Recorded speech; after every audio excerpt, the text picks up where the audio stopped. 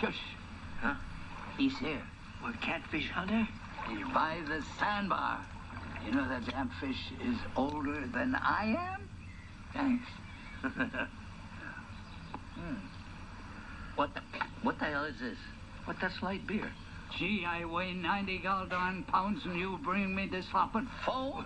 Ariel's got me on a diet because the doc said my cholesterol's a little too high. Well, let me tell you something now, Johnny. Last Thursday, I turned 95 years old. Yeah. And I never exercised a day of my life. Huh. Every morning, I wake up and I smoke a cigarette. And then I eat five strips of bacon. And for lunch, I eat a bacon sandwich.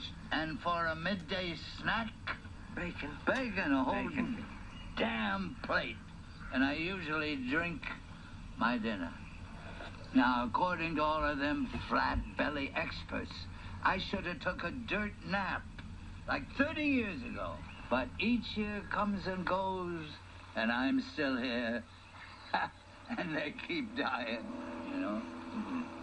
Sometimes I wonder, God forgot about me. it just goes to show you, huh? What? Huh? Goes to show you what? Well, it just goes. What the hell are you talking about?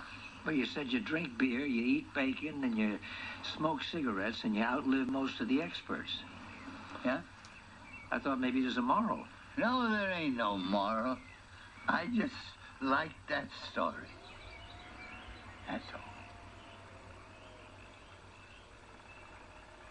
I like that story.